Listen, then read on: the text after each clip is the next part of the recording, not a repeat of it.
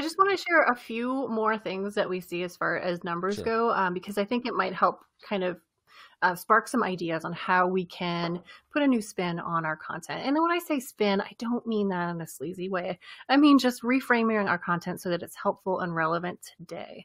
So, um, over the past two weeks, searches for home organization have gone up 43%. hmm because people are looking around and realizing that their house is a mess. Um, not that I would do that. Uh, spa day at home, 19%. Makeup tutorial for beginners, 180%.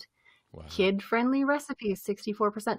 Now, um, it hasn't been that long, but I am guessing that at home hair color and hair removal is probably going to be huge. At home stuff is going to be huge. Period.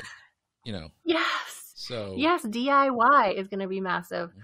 Um, searches for things like calming quotes and stress relief, uh, well, yeah, have doubled. Well, no, calming quotes has doubled. Stress relief and stress quotes, the searches for those have tripled in two weeks.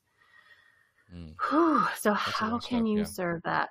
Yeah, it's a lot. Um, so thinking about like what what will be trending, like we have this initial shock. So we're seeing increases, huge increases in sales for things like electronics um, and home office furniture as people are setting up at home. But that kind of stuff is going to fade.